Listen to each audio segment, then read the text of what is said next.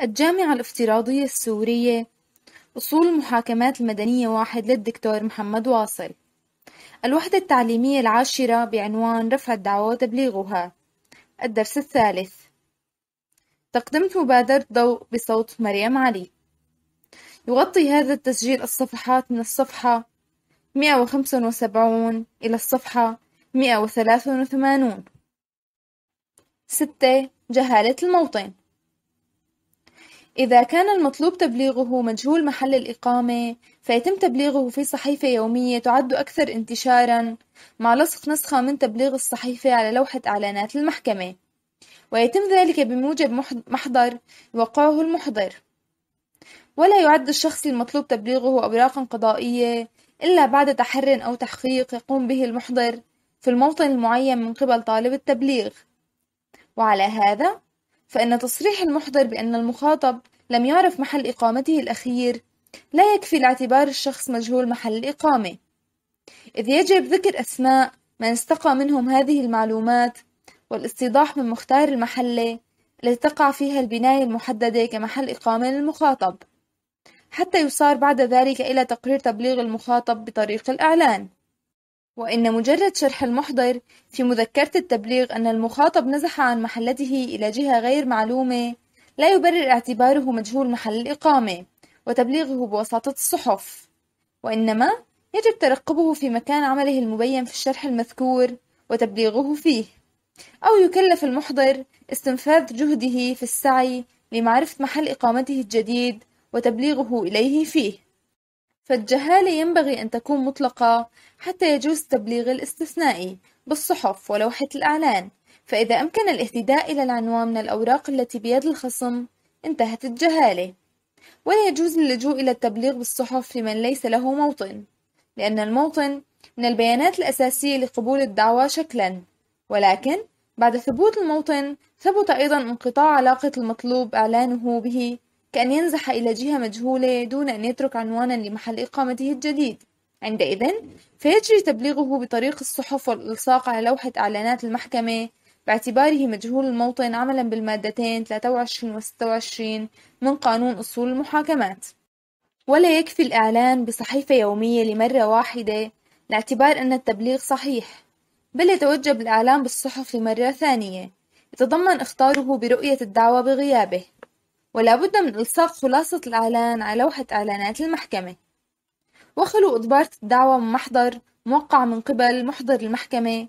يثبت إلصاق خلاصة أوراق تبليغ مجهول محل الإقامة على لوحة الإعلانات في المحكمة ويؤدي إلى بطلان الحكم. ج التبليغ إلى الموطن المختار. يستفاد من أحكام المادة 45 مدني أن الموطن المختار لا يقوم مقام الموطن الأصلي في جواز التبليغ فيه إلا في الحالات التي يذكرها القانون نفسه بالنسبة للأمور التي اتخذ الموطن المختار من أجلها فقط. ولا يصح أن يستفيد منه شخص آخر أو طرف آخر في خصومة أخرى. كما أن اتخاذ موطن مختار في عمل معين أو دعوة معينة لا يعني لزوما أن هذا الموطن هو الموطن المختار في عمل قانوني آخر. فقد يفرض القانون على الخصم اتخاذ موطن مختار بصدد أمر معين عندئذ تسلم الأوراق في الموطن المذكور. وعلى هذا فقد ألزم القانون مثلا كل من الخصوم في الدعوة أن يتخذ له موطنا مختارا في دائرة المحكمة التي تنظر في الدعوة. كما أوجب نظام العقود الإدارية العارض الأجنبي أن يعين في عرضه موطنا له في دمشق أو في أي مكان آخر تحدده دفاتر الشروط ضمن أراضي الجمهورية العربية السورية. ليكون صالحا لإبلاغه جميع المراسلات والتبليغات الإدارية والقضائية. ويطبق هذا الحكم أيضا على وكيل العارض أو ممثله في سوريا. ويعد الموطن المختار هو المعتبر في إعلان الأوراق اللازمة لسير العدالة. كما أن موطن الوكيل بمجرد صدور الوكالة هو موطن الموكل.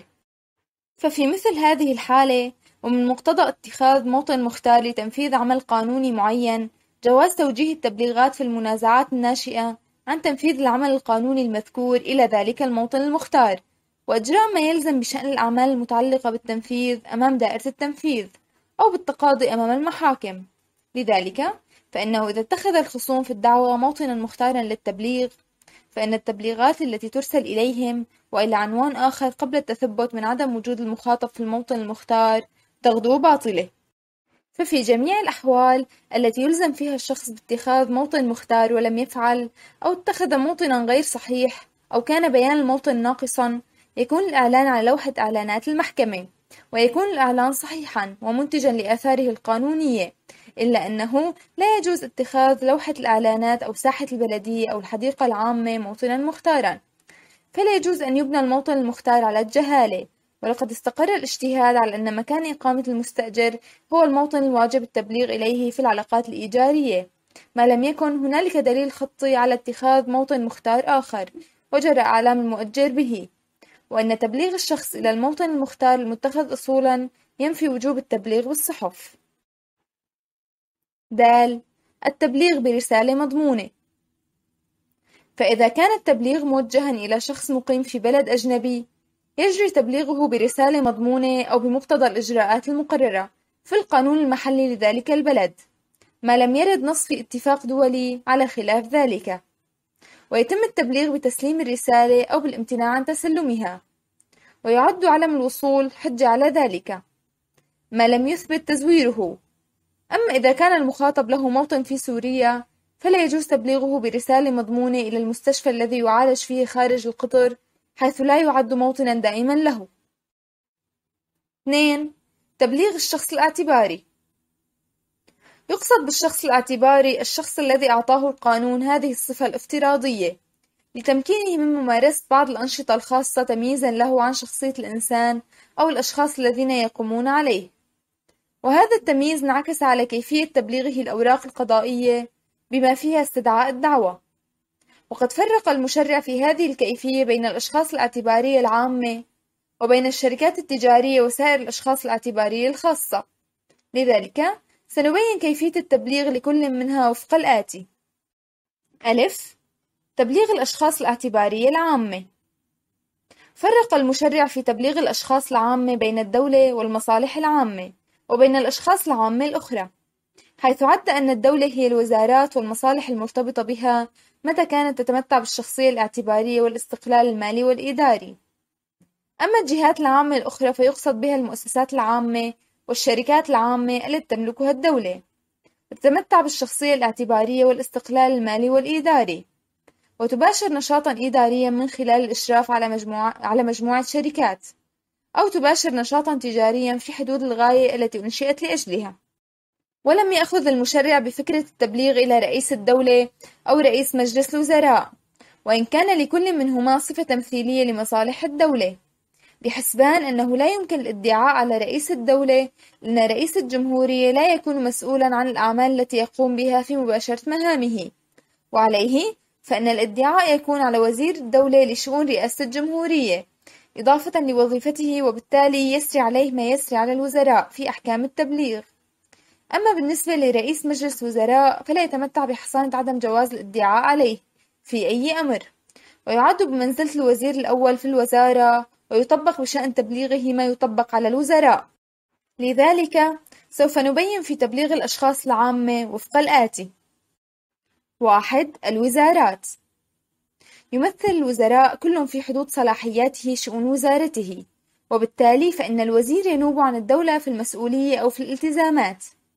وفي كل ما ينسب إليه خلال توليه لمنصبه أو بما ينسب لتابعيه في العمل.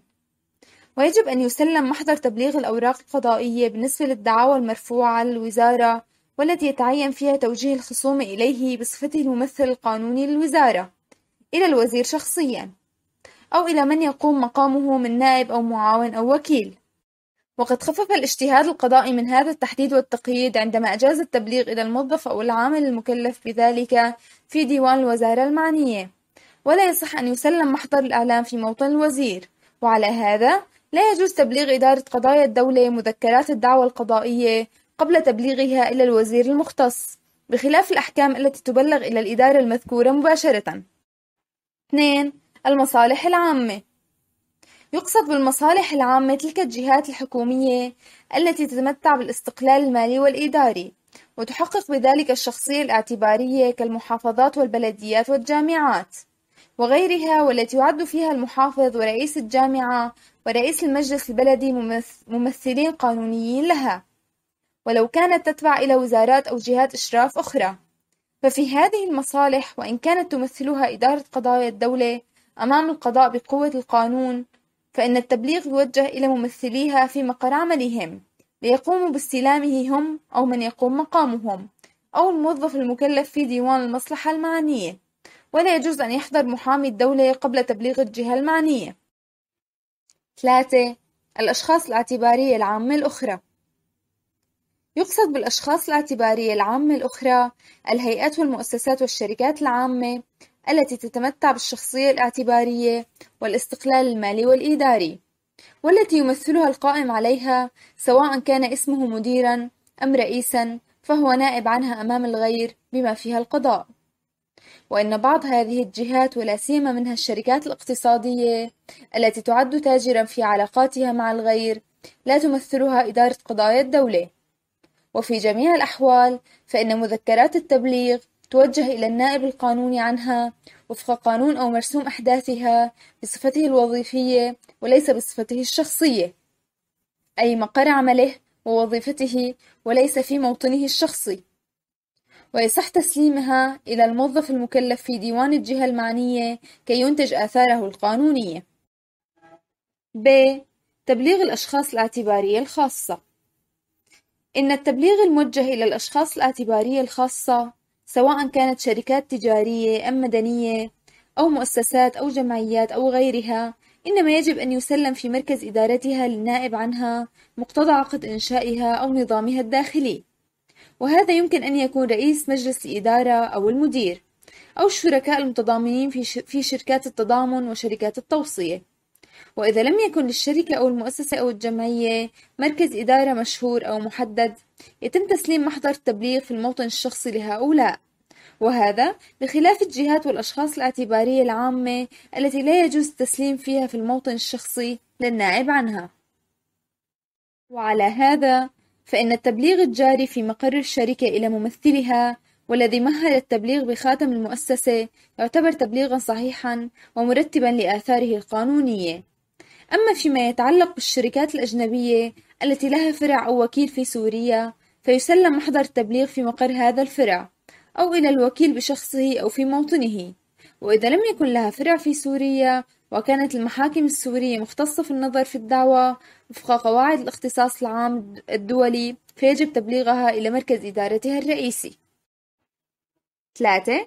أحكام خاصة في تبليغ الأشخاص النظاميين يقصد بالأشخاص النظاميين أولئك الأشخاص الطبيعيين الذين ينتمون إلى أنظمة قانونية صارمة لا تسمح لهم بتلبية نداء التبليغ بالحضور أمام المحاكم في الوقت المحدد في سندات التبليغ ما لم تمكنهم الجهة التي ينتمون إليها من ذلك وبالتالي لا يجوز توجيه محاضر التبليغ إليهم في موطنهم الأصلي لأنها لا تحقق الغاية المطلوبة منها بل يجب أن توجه عبر أقنية خاصة إلى حيث هم ونميز من هؤلاء الآتي. ألف تبليغ العسكريين. يقيم أفراد القوات المسلحة في مقار وحداتهم العسكرية التي يجب أن تبقى سرية غير معروفة إلا بالرموز العسكرية ولا يسمح للمحضرين بالتردد عليها للقيام بمهمة التبليغ أو لأنهم موجودون في ساحات القتال وليس لهم مقر ثابت معروف. وبالتالي فإنه يتعين تبليغهم أوراق الدعوة إلى حيث يقيمون عن طريق وحداتهم وبوساطة الشرطة العسكرية سواء كانوا محترفين أم متطوعين أم مجندين وسواء كانوا بصفة دائمة أم مؤقتة لأداء خدمة احتياطية أم للتدريب بشرط أن يكونوا موجودين تحت الأنظمة العسكرية. إلى أن تطبق هذه القاعدة يبقى قائما إلى أن يوكلوا وكيلا عنهم فإذا وكلوه صار التبليغ له وامتناعه عنه يعد تبليغا. ومع ذلك ذهبت محكمة النقد السورية إلى القول بجواز تبليغ العسكري إلى محل إقامته الأصلية عند عدم وضوح عنوان قطعته العسكرية والالتفاتات عن تبليغه بطريق الشرطة العسكرية ب. تبليغ السجناء ففي الحالات التي يصح فيها مخاصمة السجين أن توجه مذكرات الدعوة أو محاضر التبليغ إليه إلى المكان الذي احتجز فيه عن طريق مدير السجن أو من يقوم مقامه. ولا يجوز توجيهها إلى موطنه الأصلي أو العادي لعدم الجدوى من ذلك. ولا يجوز تثبيت غياب من لم يحضر إذا تم التبليغ عن غير طريق إدارة السجن. كما أنه لا يحق للمحضر أن يدخل إلى السجون حيث يتواجد السجناء. وعلى فرض أنه يسمح له بذلك فإنه لا فائدة من قيام المحضر بالتبليغ إذا لم تقم إدارة السجن بإحضار السجين إلى المحكمة في موعد الجلسة. لذلك فإن التبليغ عن طريق إدارة السجن يهدف إلى تحقيق أمرين في وقت واحد وهما إشعار إدارة السجن بضرورة تمكين السجين من الحضور إلى المحكمة في موعد الجلسة بإحضاره إليها وإبلاغ السجين بالدعوى المرفوعة عليه تحت طائلة البطلان.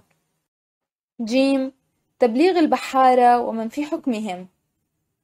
إن التبليغات الموجهة إلى بحارة السفن التجارية دون السفن الحربية التي يخضع طاقمها لقواعد تبليغ العسكريين وخدمها أو العاملين فيها تسلم إلى ربان السفينة. على اعتبار أن الربان هو قائدها والمشرف عليها والممثل لكل من يعمل فيها سواء كانوا في البر أو في البحر أم كانوا على متنها في عرض البحر وسواء كانت السفينة سورية أم أجنبية أكانت مبحرة في عرض البحر أم راسية في أحد الموانئ السورية؟ وأن التبليغ إلى الموطن الأصلي غير مجدي لأن هؤلاء لا يستقرون في مكان معين. وعلى هذا يعد التبليغ نافذا ومنتجا لآثاره القانونية بمجرد تسليم محضر التبليغ إلى الربان أو من يقوم مقامه في قيادة السفينة. 2. آثار التبليغ.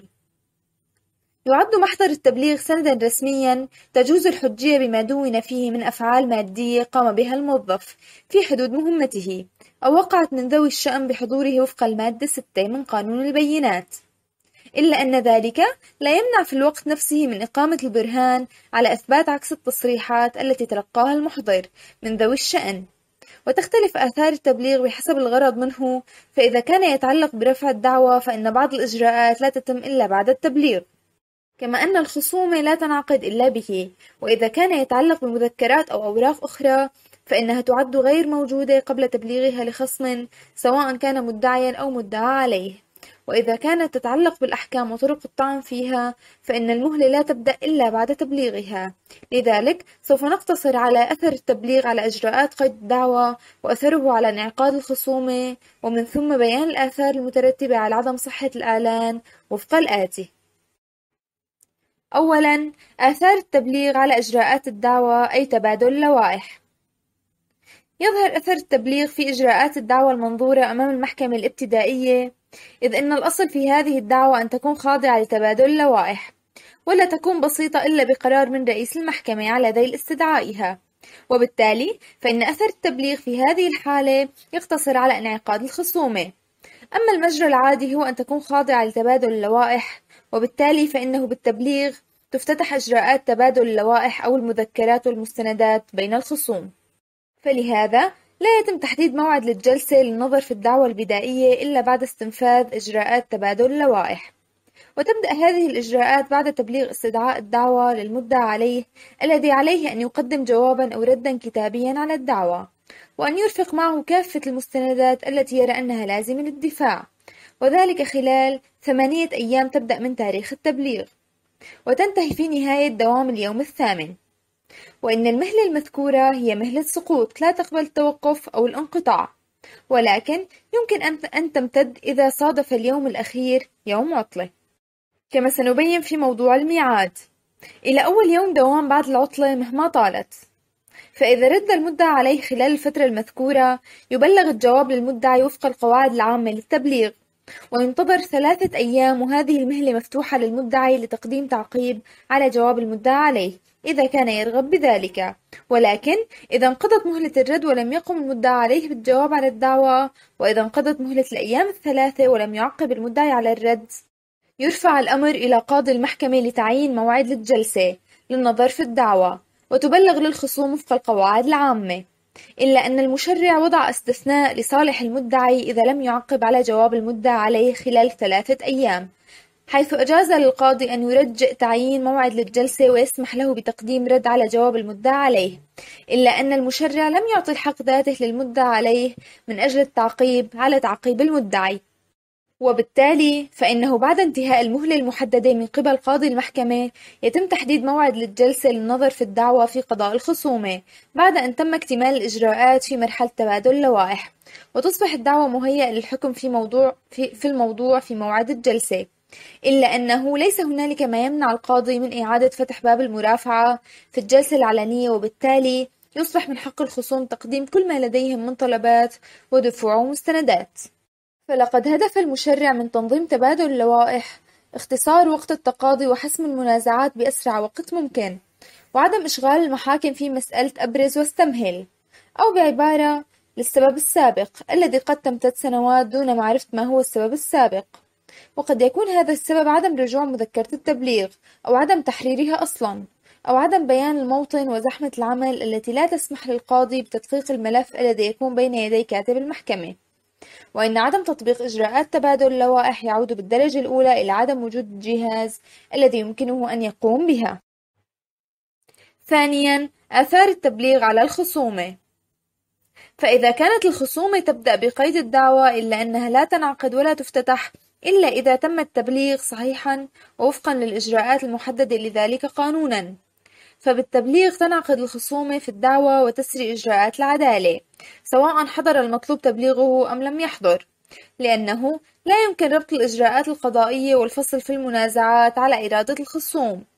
ولأنه من واجب المحكمة بعد قيد الدعوى لديها أن تتبع الأصول التي رسمها القانون وصولا إلى الفصل في الدعوى تحت طائلة إنكار العدالة. ثالثا آثار التبليغ الباطل. يقضي المبدأ أنه إذا تم التبليغ دون مراعاة الإجراءات التي سبق بيانها فإنه يكون باطلا. وعلى الرغم من النص على البطلان لعدم التقييد بتلك الإجراءات في المادة 38 من أصول المحاكمات أو لأنه شاب تلك الإجراءات عيب لم تتحقق بسببه الغاية منه. فإنه لا يحكم بالبطلان إذا ثبت للمحكمة أن الغاية منه تحققت كما لو حضر الشخص المعني ولم يتمسك بالبطلان. وفي جميع الأحوال فإن البطلان المترتب على عدم مراعاة إجراءات التبليغ هو بطلان نسبي بحيث يزول إذا تنازل عنه من شرع لمصلحته أو رد عليه بما يدل على أنه عده صحيحا أو إذا أجاب على الموضوع أو إذا رفع الطعن خلال المهلة القانونية. وعلى هذا فإن المحكمة لا تحكم بالبطلان من تلقاء نفسها ما لم يكن متعلقا بالنظام العام ولا يجوز أن يتمسك به إلا من شرع لمصلحته ويجب التمسك به قبل أي دفع آخر ولا تصح إثارته لأول مرة أمام محكمة النقد. تمارين يكون لكل سؤال عدد من الإجابات الصحيحة وواحدة خاطئة أو عدد من الإجابات الخاطئة وواحدة صحيحة اختر الإجابة المخالفة. واحد تقام الدعوة أمام المحاكم السورية ب عريضة مذكرة بيان مكتوب استدعاء. والجواب الصحيح هو استدعاء. اثنين يتم تبليغ الدعوة عادة من قبل أشخاص هم القضاة المحامون كتبة المحاكم الشرطة. والجواب الصحيح هو الشرطة. ثلاثة يتم تسليم سند التبليغ إلى المقيم مع المطلوب تبليغه أقارب المطلوب تبليغه زوج المطلوب تبليغه المطلوب تبليغه. والجواب الصحيح هو المقيم مع المطلوب تبليغه. نهاية الدرس الثالث. ونهاية الوحدة العاشرة.